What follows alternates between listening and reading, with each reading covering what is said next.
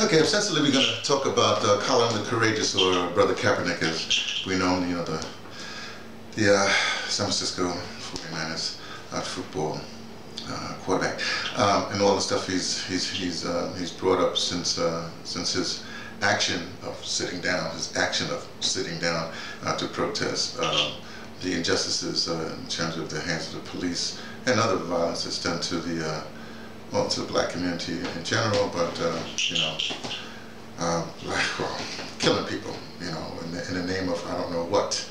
Um, there was an interesting quote. It's um, I, I, don't have the thing with me right now, but I guess it's a tweet or something. I don't do the tweets. I get, I get my stuff from from, from Google Plus. Um, but some the, the, the sister posted this thing says, well, you know, if if if we if we stand up, you know, if we if we if we so-called you know commit violence or something like that uh, to make our point, uh, you you say, oh no, not that way. Then when we protest, you know, silently like sitting down, you say, no, not that way.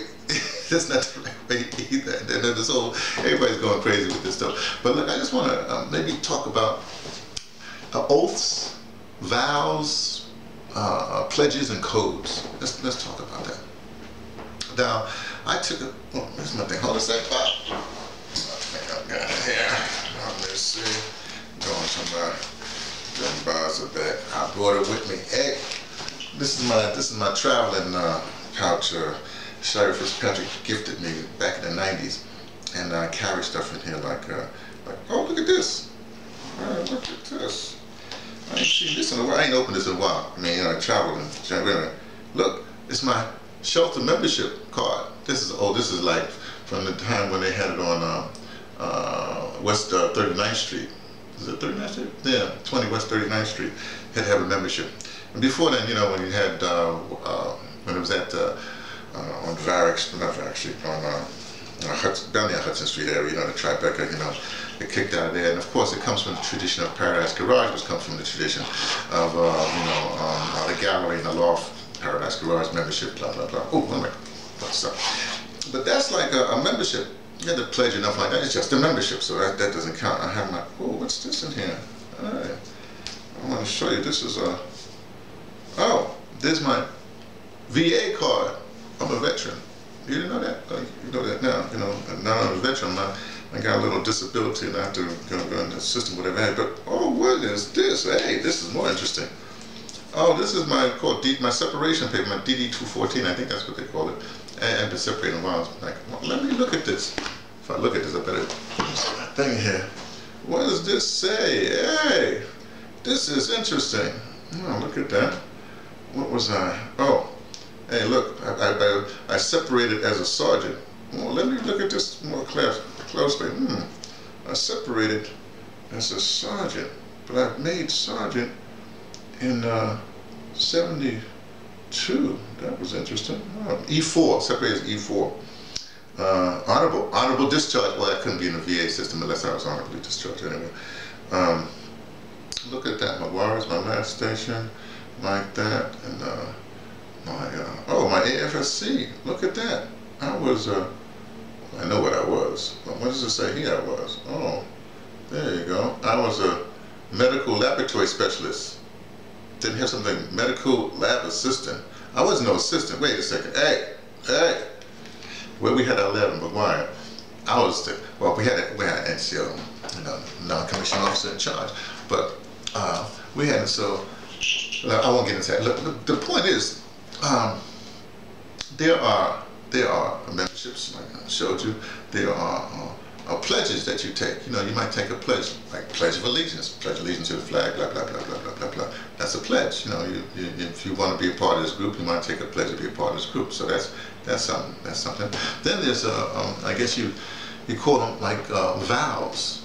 You know, like like a marriage vow, which well, we won't get into my marriage vows. But you know, you take a vow. Like for instance, my grandmother vowed to herself uh, that uh, because certain things happened, my mother was in, in foster care and in the system, whatever have you, but she took all the all the, the her grandchildren from from her, her, her, youngest daughter's side and and, and, and, put them together and, and raise them, you know. But she had vowed that that uh, she would dedicate the rest of her life to raising these six well well, well six children. Uh, And so that's what she made a personal vow to herself. She didn't tell anybody. She told me this years later. Um, vow to herself. So you can make vows to yourself, then you make vows out loud, you know, like, like marriage vows, right? Then there's like, um, I guess you would call it, well, there's, there's oaths. You take an oath. Like, for instance, I know there's two oaths I've taken in my life. One when I in the military, when you have to get up there and, you know, so you defend the country against all invaders, foreign and domestic and, and that kind of thing. And so that's an oath. When you take an oath, that's like really serious. You got to live up to that. You know what I mean? You got that? But the second oath I, I, I took in this, in a, almost like a, within a month's time period of taking that first oath from, for joining the, the United States Air Force, was the oath of the what they call the Hippocratic oath, but we know but it comes after the, the, guy, the medicine guy, you know. And that oath basically is that you know you would you would save lives. You know you would uh, basically that's what it is. You know you do your best to save lives. So those are only two oaths, and oaths are very serious that I've that I've taken, and I've actually followed those oaths. I've not killed anybody. I've I've actually saved lives. Or tried know, save tried to save lives. Um, in fact, oh, it's a little long story, but when I, I went AWOL one time, technically I was AWOL, really, you know, you got to get caught to be AWOL. And I was at a movie theater in New York, and I just finished my medical training, this cat right in back of me had this epileptic fit, and I knew what to do right away, da, da, da, da, and I was just praying nothing would happen, so they would, they would put me on record like, hey, he saved this guy, and blah, blah, blah, then I would be reported for AWOL, you know how that goes. But anyway, so, so that's very, very serious. Then there's this thing I call uh, codes. So let's get back to um, to uh, to oaths.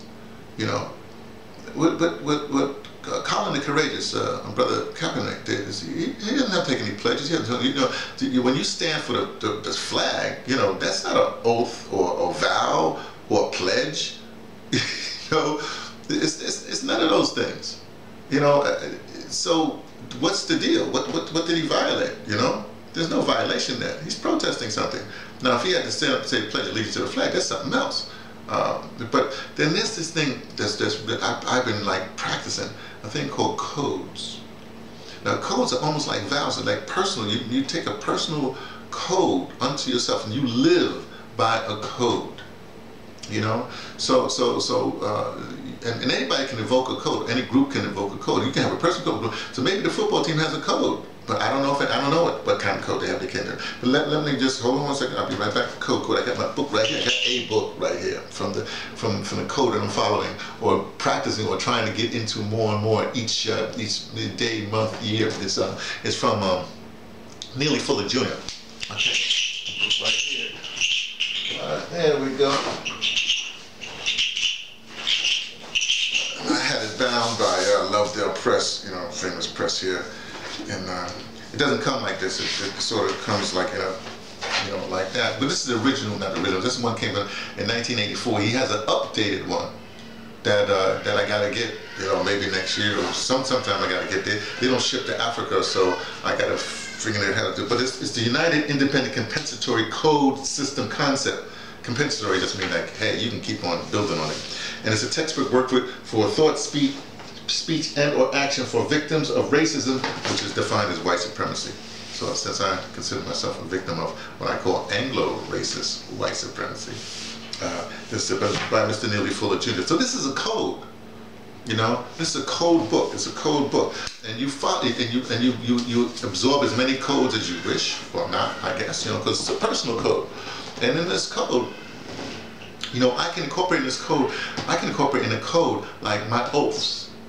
These codes don't violate my oaths. You see, I can incorporate my vows. I vowed at some particular when I was young, like in my 20s, I vowed because I came from the South Bronx of New York City. I vowed, and it was you know the projects. I vowed no more South Bronxes. And since actually since that time, I've been I've been trying to figure out a way to to have that to to honor that vow. No more South Bronxes. So so with, with, with the code, the code helps me address normal South Bronxes. You see, the code also um, incorporates my oaths, right? The code also would have a, a, vow. So your highest thing you have is a code. So if, if, if Colin the Courageous, uh, Brother Kaepernick, if he decided that I have a code I have to live by, regardless of football or, or, or, or whatever, you know, then I think the brother's probably doing right. Well, that's just me, T, from the Pattersons taking a chance to bet, letting you know what I only suspect.